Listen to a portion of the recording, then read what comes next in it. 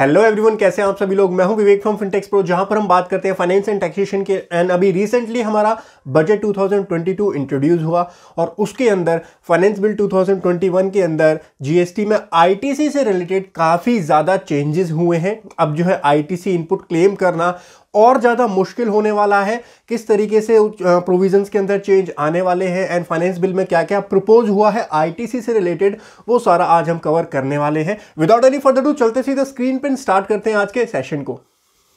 सो so guys आज के input tax credit के डिस्कशन को स्टार्ट करने से पहले आपको एक कहानी बताता हूँ। किस तरीके से जो है ये आईटीसी की कहानी हमारी स्टार्ट हुई थी और किस तरफ़ ये कहानी जा रही है, वो भी मैं आपको बताऊँगा। सो so 2017 में जब जीएसटी आया, तब बात हुई थी सीमलेस फ्लो ऑफ़ क्रेडिट की। 100 परसेंट प्रोविजनल आईटीसी आपको मिलता था। धीरे धीरे चल के काफ़ी सारे फ्रॉड्स हुए और गवर्नमेंट को लगा कि भाई प्रोविजनल आईटीसी हम हंड्रेड नहीं दे सकते। तो गवर्नमेंट ने बोला कि भाई ट्वेंटी प्रोविजनल आईटीसी आपको मिलेगा। उसके बाद आगे जाकर के इस ट्वेंटी की लिमिट को टेन किया गया, फिर फाइव किया गया। और अभी रिसेंटली जनवरी 2022 से आप कोई भी आईटीसी प्रोविजनल बेसिस पर क्लेम नहीं कर सकते हैं। प्रोविजनल आईटीसी जीएसटी से अब आज की डेट में कंप्लीटली वॉश आउट हो चुका है। आप प्रोविजनल बेसिस पर कोई भी आईटीसी क्लेम नहीं कर सकते हैं। अब डिस्कस करते हैं कि फ्यूचर प्लान क्या है गवर्नमेंट का और गवर्नमेंट किस तरफ़ बढ़ रही है। फाइनेंस बिल 2021 को एनालाइज करके मुझको एक चीज़ समझ में आती है। गवर्नमेंट अब आपके जो इनपुट टैक्स क्रेडिट अवेलेबल है उसके ऊपर भी रिस्ट्रिक्शन लगा सकती है। और ये मैं कोई नई चीज़ नहीं बोल रहा हूँ। लास्ट ईयर ही एक नोटिफिकेशन आई थी जहाँ पे गवर्नमेंट ने बोला था अगर 50 लाख से ज़्यादा की आपकी जो है टैक्स लाइबिलिटी बनती है तो आपको 1 परसेंट जो है वो कैश में देना पड़ेगा। खाली 99 परसेंट आप यूज़ कर सकते हैं इनपुट टैक्स क्रेडिट का। सो so, यानी आपके पास जो अवेलेबल क्रेडिट है उसके ऊपर भी रिस्ट्रिक्शन लगाई जा सकती हैं। और जो ये बजट है इसके प्रोविज़न पढ़ने के बाद मेरा तो यही एनालिसिस निकल के आता है कि फ्यूचर में जो आपके पास इनपुट अवेलेबल भी है उसको भी क्लेम कर करने में आपको दिक्कत आ सकती है और इसी तरफ़ गवर्नमेंट ने कदम बढ़ाया। चलिए चलते हैं, सीधा डिस्कस करते हैं कि क्या क्या अपडेट्स आए हैं क्या क्या चेंजेस आए हैं। सेक्शन नंबर 16 के अंदर दो तीन बड़े बड़े इंपॉर्टेंट चेंजेस आए हैं। सबसे पहले उसको डिस्कस करते हैं। सेक्शन नंबर सिक्सटीन हमारा eligibility and condition for taking input tax credit का होता है। पूरा सेक्शन में डिस्कस नहीं कर रहा हूँ। ओनली जो रेलेवेंट चेंजेस हैं, उसको मैं डिस्कस कर रहा हूँ। तो ये जो ब्लू हाईलाइटेड है, ये हमारा जो है ऐड हुआ है। यहाँ पर सब सेक्शन टू के अंदर क्लॉज बी एक ऐड हुआ है और क्लॉज बी ए के अंदर क्या लिखा हुआ है? ध्यान से पढ़िएगा अब इसको बहुत ही ज़्यादा ध्यान से। द डिटेल ऑफ़ बेसिकली इसके अंदर जो आ, हमारा सबसेक्शन टू है इसके अंदर कंडीशंस बताई हुई इन कंडीशन जब आप सेटिस्फाई करते हैं तभी आप इनपुट टैक्स क्रेडिट क्लेम कर पाएँगे। तो एक कंडीशन बेसिकली ऐड की है कि the details of input tax credit in respect of the sub set supplies communicated to the register person under section number thirty eight has not been restricted कहने का मतलब सिंपल सी चीज़ इन्होंने यहाँ पर इस वाले प्रोविज़न में ज़्यादा कोई बड़ी चीज़ नहीं डाली। इन्होंने बोला सेक्शन नंबर 38 जा करके पढ़ लो। सेक्शन 38 के अंदर सेक्शन 38 भी अपडेट हुआ है। जो अपडेटेड सेक्शन आपको जो जो है वो पढ़ना है। तो सेक्शन नंबर 38 जा करके पढ़ लो और उसके अंदर अगर रिस्ट्रिक्टेड है तो भाई आप क्लेम नहीं कर सकते सेक्शन 16 के अंदर अपना आईटीसी नाउ ये सेक्शन 38 होता किस चीज़ का? बेसिकली सेक्शन 38 जो है वो जीएसटीआर टू का होता है। जीएसटीआर टू का होता है और इसको चेंज किया गया। इसको अब जो है कंप्लीटली चेंज किया गया सेक्शन 38 को। जो नया सेक्शन 38 है, वो क्या बोलता है? चलिए सीधा वहाँ पे चलते हैं, नया सेक्शन 38 पहले इस प्रोविज़न को एक बार समझ लेते हैं, फिर और सेक्शन 16 के चेंजेस को समझेंगे। तो सेक्शन नंबर 38 पे आ जाइए। सेक्शन 38 को चेंज करके इन्होंने इनका पूरा सेक्शन ही चेंज कर दिया। Communication of detail of inward supplies and input tax credit so पहले जो टू में जब जीएसटी आया था तो तब सेक्शन थर्टी होता था हमारा जीएसटी आर फ़ाइल करने का, जहाँ पे आपको एक्सेप्ट करना है रिजेक्ट करना है, बहुत सारी ऐसी ऐसी बातें लिखी होती थी, जो प्रैक्टिकली कभी जीएसटी आर टू प्रैक्टिकल आया ही नहीं और वो कभी इंप्लीमेंट हो ही नहीं पाया। तो इन्होंने क्या किया लॉ के प्रोविजंस को अब चेंज कर दिया, जो प्रैक्टिकल होता है उसके अकॉर्डिंग तो अब इन्होंने बोला communication of detail of inward supply and input tax credit और यहाँ पर जीएसटी आर टू बी की बात जो है वो गवर्नमेंट कर रही है। ना इसके अंदर क्या लिखा हुआ है? इसके, उसके, इसको चेक करना है। इसके अंदर अगर आप एलिजिबल हैं, तब आप जो है सेक्शन 16 की उस वाली कंडीशन को सेटिस्फाई कर पाएँगे। क्या लिखा हुआ है सेक्शन 38 के अंदर? ये बिल्कुल नया सेक्शन है, ध्यान से पढ़िएगा। The detail of outward supplies furnish by the register person under subsection one of section number 37 और सेक्शन 37 होता है जीएसटीआर वन आउटवर्ड सप्लाई को शो करने के लिए सेक्शन 37 का यूज़ किया जाता है। And of other such supply as may be prescribe and an auto generated statement बताइए जी ऑटो जनरेटेड स्टेटमेंट कुछ सुनी सुनी सी लग रही है आपको? इसीलिए मैंने आपको कल बजट वाली हाइलाइट्स में बता दिया था कि अब इन्होंने लॉ को क्या किया? लॉ को प्रैक्टिकल बेसिस पर जो है अब उसको चेंज चेंज किया है। यानी जो प्रैक्टिकल काम होता है उसके अकॉर्डिंग अब लॉ को ड्राफ्ट करना स्टार्ट किया और उसके अंदर कुछ चीज़ें एड ऑन भी की है। तो ऑटो जनरेटेड स्टेटमेंट और कुछ नहीं, हमारी G S R two B जो है वो ऑटो जनरेटेड स्टेटमेंट होती है, उसकी बात यहाँ पर की जा रही है। Contain the detail of input tax credit shall be made available electronically to the recipient of such supplies in such form and manner within such time and subject to the condition and restriction as may be prescribed तो subsection one में बात की हुई है कि भाई outward supply जो है वो फर्निश कौन करेगा? सप्लायर और रिसिपेंट के पास वो कम्युनिकेट होगी G S T R two B के अंदर, ठीक है? उसके बाद सब्सेक्शन टू जो है ये इंपॉर्टेंट है। इसको जरा ध्यान से पढ़िएगा सेक्शन 38 का subsection two the auto generated statement under subsection one shall consist of अब वो दो चीज़ें कंसिस्ट करता है। क्या क्या पहला है detail of inward supply in respect of which input tax credit may be available to the recipient अब यहाँ पे एक वर्ड यूज़ किया गया है मे यहाँ पर शेल क्यों नहीं यूज़ किया गया? क्योंकि एक पॉइंट है जीएसटी आर टू बी में अगर आपका कोई आईटीसी आ रहा है डजेंट मीन कि आप उसके लिए एलिजिबल हो. एलिजिबिलिटी की कंडीशन आपको सेक्शन 16 सेक्शन 17 और सेक्शन 38 को पढ़ने के बाद में ही डिसाइड करना है कि क्या आप उसके लिए एलिजिबल हो या नहीं हो. हो सकता है वो ब्लॉक क्रेडिट्स हो सेक्शन सेवनटीन फाइव में ब्लॉक हो या फिर आप बिज़नेस पर्पज के लिए उसका यूज़ नहीं करते हो. सो जीएसटी टू बी में आने का मतलब ये नहीं होता कि वो आपके लिए एक एलिजिबल आईटीसी होगा। एलिजिबल आईटीसी के लिए कंडीशन ये है। पहले तो वो टू बी में आना चाहिए, फिर जो लॉ के प्रोविज़न है, उनकी कंडीशन को सेटिस्फाई होगा जब उसके बाद में आप जो है उसके लिए एलिजिबल हो। तो इसीलिए यहाँ पर वर्ड यूज़ किया हुआ है मे मतलब अगर आप उसके लिए एलिजिबल हो तो आप क्लेम कर सकते हो। अगर वो ब्लॉक क्रेडिट्स है तो ऑब्वियसली आप वो आईटीसी क्लेम नहीं कर पाएँगे। तो इसीलिए यहाँ पे may be available to the recipient ये तो पहली बात हुई जो कि सिंपल सी, आसानी से समझ में आ जाती है। लेकिन जो हमारा यहाँ पर क्लॉज नंबर बी है। क्लॉज नंबर बी बहुत इंपॉर्टेंट है, इसको जरा ध्यान से पढ़िएगा। Detail of supplies in respect of which such credit can not be avail तो पहला पार्ट तो वो हो गया, ये तो वो हो गया डिटेल ऑफ़ सप्लाई जिसका आपको इनपुट टैक्स क्रेडिट अवेल आप कर सकते हैं। दूसरा है जिसके रिस्पेक्ट में आप इनपुट टैक्स क्रेडिट अवेल नहीं कर सकते वेदर होली और partly by the recipient on account of the detail of the said supply being furnished under subsection 1 of section number 37 अब यहाँ पर इन्होंने पॉइंट्स दिया है। कौन कौन से पॉइंट्स हैं जब आप जो है एलिजिबल नहीं है, आप जो है उसको नहीं क्लेम कर सकते हैं? तो इन पॉइंट्स को आपको ध्यान से समझना है। अगर आप किसी भी पॉइंट में फॉल हो गए तो भाई आपके भले टू ए के अंदर वो आ रहा हो, लेकिन आप जो है एलिजिबल नहीं है आईटीसी को क्लेम करने के लिए। मेरी टू ए नहीं, टू बी है बेसिकली अब तो टू बी हमारा आ चुका है। तो इवन तो टू बी में आपका आईटीसी आ रहा है बट इवन फिर भी आप जो है अपनी थ्री बी में उसको क्लेम नहीं कर पाएँगे। बहुत ही इंपॉर्टेंट चीज़ आपको बताने वाला हूँ, और ये नई चीज़ आई है, ध्यान से समझिएगा।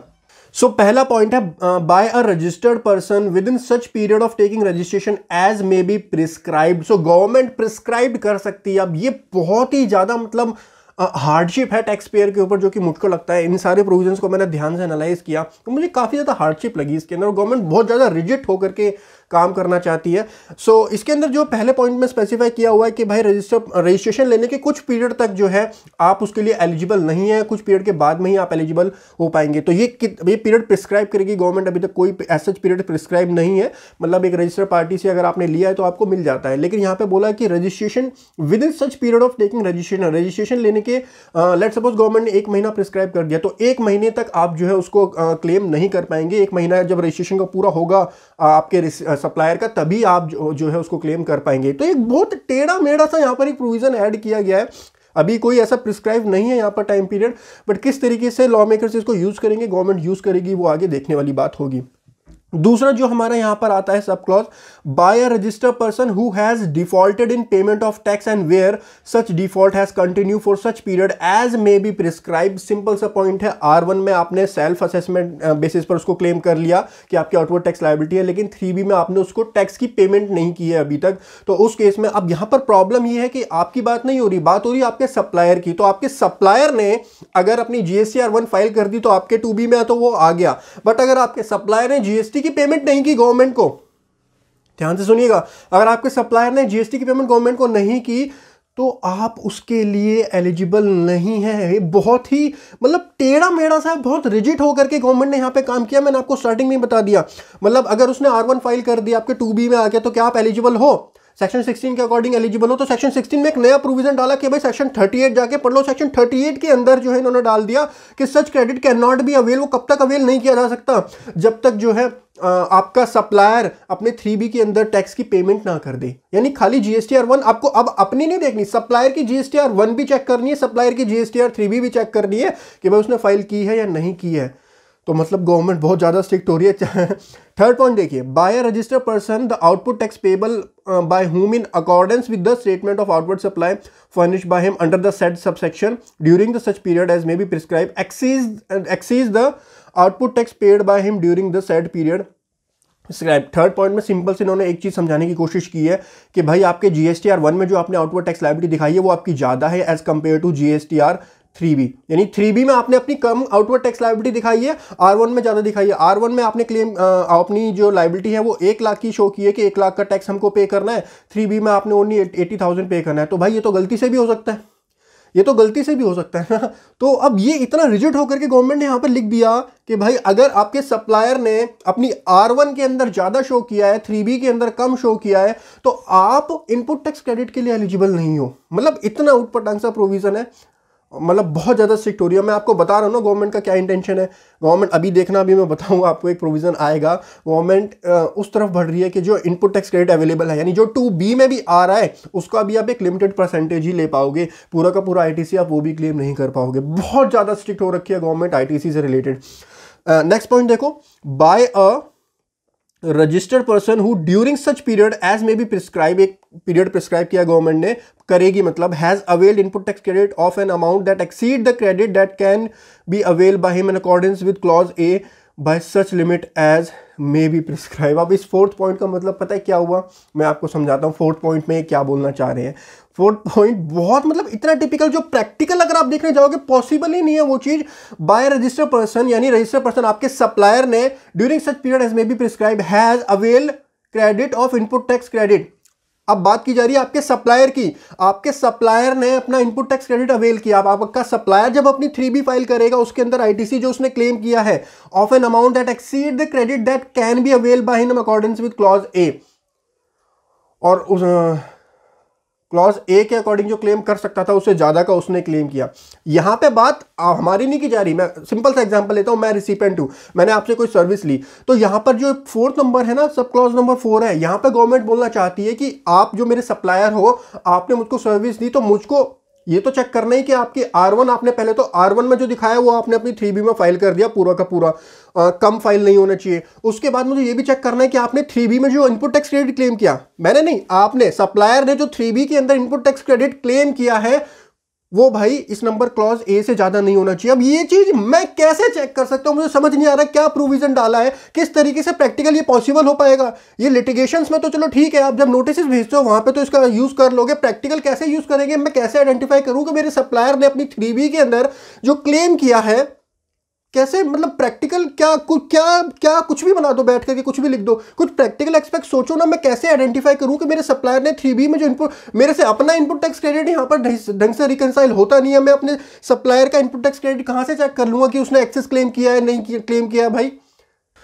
सो so, ये तो था हमारा सब क्लॉज नंबर फोर चलो ठीक है सब क्लॉज नंबर फोर हो गया। अब पढ़ो सब क्लॉज नंबर फाइव उससे भी ज़्यादा रिजिट कर दिया आईटीसी क्या बोलना चाह रहे हैं सब क्लॉज नंबर फाइव में? ध्यान से पढ़ो।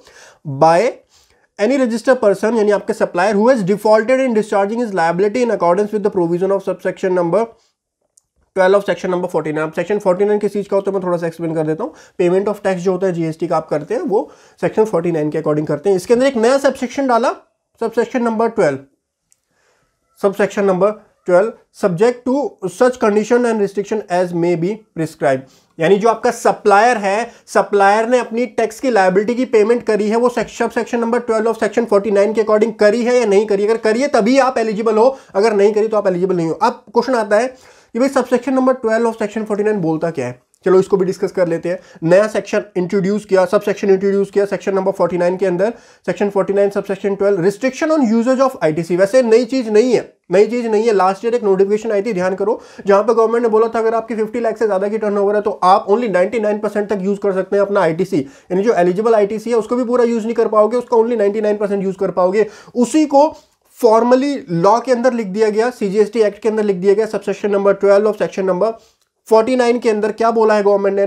Notwithstanding anything contain in the act the government may on the recommendation of the council subject to such condition and restriction specify such यहाँ से ध्यान से पढ़ना अब इसको maximum proportionate of output tax liability under this act and under the IGST दोनों की बात की जा रही है which may be discharge through the electronic credit ledger by registered person और a class of registered person as may be prescribe यानी government आपको बताएगी कि अगर आपके टू बी के अंदर, टू बी के अंदर अगर मेरा हंड्रेड रुपीज़ का आईटीसी है तो गवर्नमेंट यहाँ पर यूज़ कर सकती है। Subsection number twelve of section forty nine का और बोलेगी कि आप ओनली 80 परसेंट आईटीसी क्लेम कर पाएँगे। तो आपके पास भले ही टू बी के अंदर कितना है, हंड्रेड आप खाली यूज़ कर पाओगे। एट्टी रुपीज़ ये राइट भी गवर्नमेंट ने यहाँ पर अपने लॉ के अंदर डाल दिया है। मैंने आपको क्या बोला है? गवर्नमेंट उसी तरफ़ बढ़ रही है। पहले तो प्रोविजनल खत्म किया, अब जो आईटीसी है उसको भी रिस्ट्रिक्ट करेंगे। उसी की तरफ़ गवर्नमेंट जो है वो जा रही है। तो आपको समझ में आ गया होगा, यहाँ पर, अब यहाँ पर पॉइंट नंबर फाइव में ये हमसे बोल रहे हैं कि आपको अपने सप्लायर का भी ये चीज़ देखनी अब हम कैसे देखेंगे? क्वेश्चन ये है कि प्रैक्टिकली ये कैसे अप्लाई करेगा एक रिसिपेंट कि उसका जो सप्लायर है, उसने जो टैक्स की पेमेंट की है, वो कितना परसेंट कैश में करी है, कितना परसेंट उसने क्रेडिट का यूज़ किया है और कहीं उस क्रेडिट में कोई एक्सेस क्रेडिट तो उसने क्लेम नहीं कर लिया, कहीं उसने अपने टू से ज़्यादा तो क्लेम नहीं कर लिया। मेरे सप्लायर ने अब वो चीज़ मुझको देखनी है। अगर उसने किया है तो मैं उस उसके लिए एलिजिबल नहीं हूँ। बेसिकली इसका ऑब्जेक्टिव मैं आपको समझा देता हूँ। जो चेन बनती है ना फेक आईटीसी की, उस चेन को क्रप करने के लिए यहाँ पर ये वाले पॉइंट्स इन्होंने डाले हैं। बट कहीं ना कहीं आप सोचो, एक जेनुअन पर्सन जो है जेनुअन टैक्स पेयर है, उसके लिए ये चीज़ प्रैक्टिकली पॉसिबल ही नहीं है कि वो इन चीज़ों को कहीं से भी चेक कर पाए कैसे चेक कर पाओगे? यार, मैं किसी और की थ्री को कैसे चेक कर सकता हूँ? उसकी कैलकुलेशन में कैसे चेक कर सकता हूँ? इतना तो चेक कर सकता हूँ, उसने फ़ाइल की है, नहीं की है? चलो, पहले दूसरे पॉइंट में तो मैं क्लियर कर सकता हूँ कि भाई उसने आर वन फ़ाइल करी, अपनी थ्री फ़ाइल करी, नहीं करी, मैं पोर्टल पर डाल करके देख लूँगा कि उसने अपनी थ्री फ़ाइल की या नहीं की। बट थ्री के अंदर उसने अपना जो आई लिया, कहीं वो आई एक्सेस आई नहीं है, वो मैं कैसे चेक करूँगा? आर और थ्री बिल्कुल सेम है, नहीं है, कहीं वो मैं कैसे चेक करूँगा? तो वो चीज़ें थोड़ी सी प्रैक्टिकल पॉसिबल नहीं और गवर्नमेंट का ऑब्जेक्टिव भी जो है यहाँ से आप समझ गए होंगे कि वो जो लिटिगेशन होते हैं, वहाँ पर इन सेक्शन का यूज़ किया जाएगा, जो सीरीज़ बनती है फेक फॉर्म्स जो होती हैं, उनको क्रप करने के लिए इसका यूज़ करने वाले हैं। बाकी आई डोंट थिंक प्रैक्टिकली आप कभी भी इसका यूज़ कर पाओगे। पॉसिबल ही नहीं है प्रैक्टिकल वो चीज़ तो कैसे कर पाओगे कि आप अपने सप्लायर का देख पाएँगे कैसे उसने किया लास्ट है बाय अदर केसेस और person has may be prescribe और मतलब अपने पास एक और स्कोप छोड़ दिया, अगर कुछ और प्रिस्क्राइब करना चाहते हैं, वो भी प्रिस्क्राइब कर सकते हैं। तो ये सारी रिस्ट्रिक्शन लगाई और इन रिस्ट्रिक्शन को जोड़ दिया इन्होंने कहाँ पर? ये रिस्ट्रिक्शन सारी आपकी ऐड कर दी इन्होंने सेक्शन नंबर 16 के अंदर, जो हम डिस्कस कर रहे थे। क्लॉज नंबर बी ए जो ऐड किया है कि the detail of input tax in respect of the set supply communicated to service percent section 39 has not been restricted और वो रिस्ट्रिक्ट नहीं है। तो अगर वो रिस्ट्रिक्टेड है तो आप सेक्शन 16 के अंदर एलिजिबल नहीं है उस आईटीसी को क्लेम करने के लिए और ये रिस्ट्रिक्शन मैंने आपको पढ़ाई, काफ़ी सारी यहाँ पर रिस्ट्रिक्शन उन्होंने ऐड की हुई हैं। आईटीसी क्लेम करना आज की डेट में is not a cup of tea मतलब कैसे एक नॉर्मल बिजनेसमैन के लिए जीएसटी बनाएँगे, मुझे समझ नहीं आ रहा, जब इतनी टेक्निकल चीज़ें इसके अंदर ऐड कर दी जाती हैं। तो कैसे उसको फिर एक और अपडेट है सेक्शन 16 के अंदर उसको भी पढ़ लेते हैं। सेक्शन 16 सब सेक्शन 4 के अंदर एक पहली सी अपडेट आई है थोड़ी अच्छी खबर है आपके लिए जो इनपुट टैक्स क्रेडिट क्लेम करने की लिमिट होती है। तो पहले होती थी वो due date of furnishing of the return under section 39 of September month तो सेप्टेंबर मंथ की थ्री बी की जो ड्यू डेट होती थी वो आपकी लास्ट डेट होती थी आईटीसी क्लेम करने के लिए। उसको चेंज करके कर दिया गया थर्टीथ डे ऑफ़ नवंबर यानी thirtieth November of following year तक जो है आप, आप अपना आईटीसी क्लेम कर सकते हैं। अच्छा जाते जाते एक छोटा सा डिस्क्लेमर दे देता हूँ। ये जो नोटिफिकेशन ये जो फाइनेंस बिल की अपडेट्स हमने पढ़ी है प्रपोज है। फाइनेंस एक्ट के अंदर ये आएँगी तब फाइनलाइज होंगी। उसके बाद ये जो है फ़र्स्ट अप्रैल से एप्लीकेबल नहीं होती हैं। जितनी भी जीएसटी की अपडेट्स होती हैं उसको सी सीबीआईसी जिस डेट से नोटिफाई करती है तब से वो एप्लीकेबल होती हैं। तो आ, ये मैंने आपको एक्सप्लेन कर दिया पूरा प्रोविज़न सारे प्रोविज़न सेक्शन 38 भी एक्सप्लेन कर दिया और सेक्शन 16 की अपडेट्स भी एक्सप्लेन की। बट वो एप्लीकेबल इफ़ेक्ट में तभी आएँगे जब सीबीआईसी उनको नोटिफाई करेगी, इन चीज़ों का ध्यान रखिएगा। सो गाइज़ मैंने आज आपके साथ डिस्कस किया इनपुट टैक्स क्रेडिट लेना क्लेम करना और उसको अवेल करना, कितना मुश्किल होने वाला है आपके लिए, और गवर्नमेंट का क्या इंटेंशन है प्रोविजनल खत्म करना, और अब जो आईटीसी है उसके ऊपर भी रिस्ट्रिक्शन लगाना सेक्शन 49 के अंदर की अमेंडमेंट भी हमने कवर की। होप सो आपको सेशन पसंद आया होगा। Thank you so much for watching today session have a great time हँसते रहिए, मुस्कुराते रहिए। Bye bye take care